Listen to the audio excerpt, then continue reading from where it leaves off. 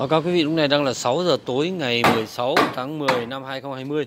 Chúng tôi đang tháo chiếc sập à, thấm biển quần mai 1m8 x 2m2 và để đưa cái đưa lên ô tô để chuyển đi phố Nguyễn Thị Định Hà Nội.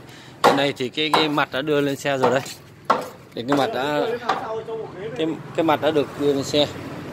Và không cứ cứ cứ, cứ tháo ra đã. Cứ tháo ra là lấy lối đi đã. Chú chú cứ tháo ra lấy lối cho ghế lên.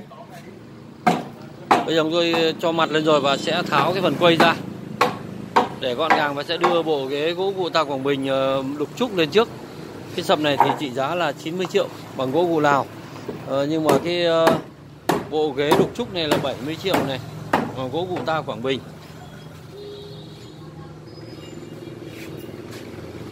Rồi.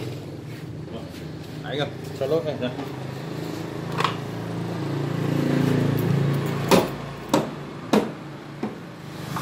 Đấy.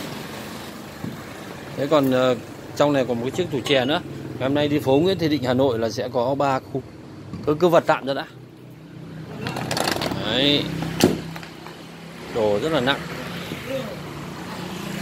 Đồ hết sức là kênh bong luôn.